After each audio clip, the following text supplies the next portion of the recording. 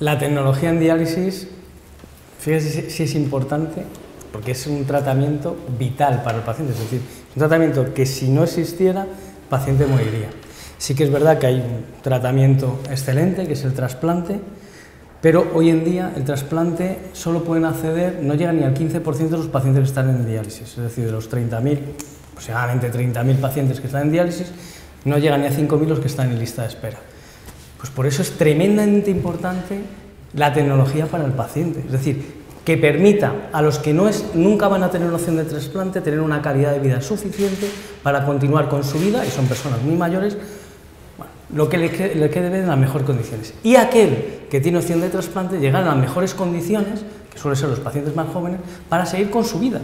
Pueda seguir hoy en día trabajando y desarrollando la vida como otras personas. Por eso para nosotros es determinante que la tecnología llegue a los pacientes lo antes posible. Eh, Por no, me, me, voy a poner a su lado, eh, claramente, porque creo que son los protagonistas, de verdad, lo creo firmemente, porque además soy, soy médico antes que gestor, o sea que sí que soy gestor, pero bueno, lo veo como, como me enseñaron, ¿no? Recuperar la parte de qué significa ser un, un eh, ciudadano enfermo autónomo, que, que, entiende por calidad de vida, adelantarnos a la depresión, a la ansiedad, al miedo, porque claro, enfrentarte a, a esto toda tu vida no debe ser nada fácil. Y, y, todo lo que sea que el sistema sea capaz de ser resolutivo y de ayudarle en ese proceso utilizando las máquinas, que para eso están, pero están para eso, para que el concepto de salud sea no solo una tasa de supervivencia, sino que midamos los resultados en salud también atendiendo a, a ese ser humano autónomo que, que, le importa su calidad de vida. ¿no? Igual le importa mucho vivir, pero si vive además bien, fenomenal. ¿no? Mejor, ¿no? Perfecto. Muchas gracias, Modovaldo. eh, María Dolores, es su turno. Sí. Bueno, pues yo voy a enganchar con lo que acaba de decir Modovaldo. Yo creo que la población que estamos atendiendo con enfermedad renal crónica y desde luego en nuestras unidades de diálisis, no solo hemodiálisis, sino también personas en diálisis peritoneal, yo creo que es una una población muy envejecida, como todos sabemos, y yo creo que todos querríamos tener un envejecimiento de calidad. Y por tanto, para eso creo que el paciente en diálisis actualmente, la modalidad que tenga, necesita una atención integral, pero esto no puede ser un eslogan, una atención integral es que esa atención tiene que ser social, laboral, sanitaria y familiar. Eso debemos de luchar todos y trabajar todo en ello.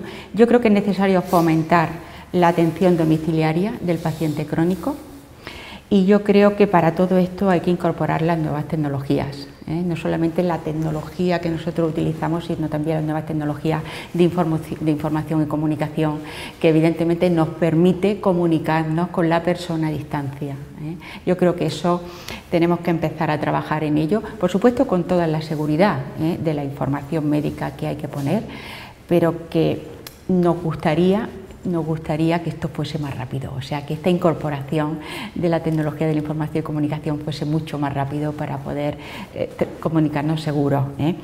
Y desde luego esta tecnología mm, produce una gran seguridad, una gran calidad en la prestación de los servicios que estamos prestando y la atención sanitaria. Produce ahorros, ¿eh? ahorramos con ella, está en el informe, llama unos ahorros muy considerables y yo me voy al origen. ¿eh? Desde luego, pacientes en diálisis no tendríamos si nosotros no ocupásemos también de lo que es prevenir la enfermedad renal crónica y la detección precoz, en, sobre todo en población de riesgo. ¿eh? Y bueno, pues tenemos en marcha Código Riñón, que bueno, hemos conseguido que sea aprobado por todos los partidos políticos de este país, o sea que si realmente estamos todos en ello, pues seguro que lo que conseguimos. No todos, con, con, la que está cayendo. Todo, todo, todo, se aprobó. El Congreso se aprobó. Eh, ¿Le toca a usted, Juan Carlos, como representante pues, del sector? Eh, absolutamente de acuerdo con, con, con lo que han dicho mis compañeros. Eh, quiero abundar en algo que, que, ha dicho Juan Carlos, mi tocayo, y es que lo que mantiene vivo al paciente en insuficiencia renal es la diálisis. Es decir, eh, ese era el principal objetivo, es el principal objetivo. Hoy ese es un objetivo, un objetivo ya resuelto y ahora ya buscamos la mejoría de la calidad de vida, eh, que disminuyan los episodios de hospitalización. Hoy estamos en otro punto, pero la tecnología de diálisis es lo que mantiene vivo al paciente y en muchos casos nosotros lo que hemos observado es que se destina más presupuesto a fármacos para corregir diálisis deficientes que en inversión tecnológica para poder ofrecer el mejor tratamiento al, paciente. Es decir, la tecnología, y volvemos al, origen del debate cuando María Dolores decía tratamientos de agua, tratamientos de agua, monitores de hemodiálisis, biosensores, eh, equipos domiciliarios, ya sean de diálisis peritoneal o, hemodiálisis domiciliaria, y como no, software. Esto es lo que realmente mantiene vivo al paciente y le ofrece, le ofrece la mejor calidad de vida. Y ahí es donde creo que en estos momentos, antes decía eh, Juan Carlos, España no es, eh, no es de los peores países en la tecnología. Yo creo que España sigue siendo uno de los países a la cabeza en nefrología a nivel mundial y en diálisis y también en su tecnología.